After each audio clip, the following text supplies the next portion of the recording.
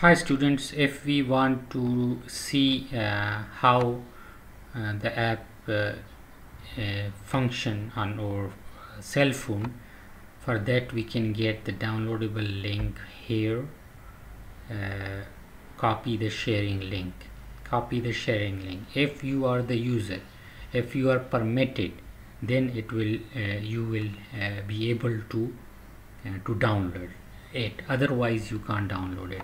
If Shine Co and Burak Khattak these two people are allowed to use this app only they can download it and from here you can copy the shared link and send that uh, to your phone.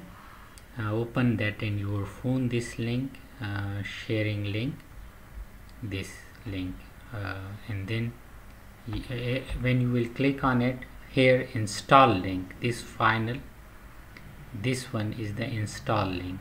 Uh, and this is for uh, allow user to access the editor and this is allow uh, user to to to review the um, app in browser. So this is how you can download.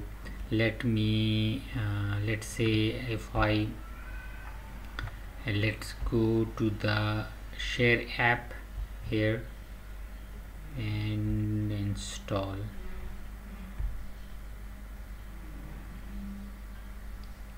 Copy the app and send it on the uphone web from uphone web to your phone. Thank you so much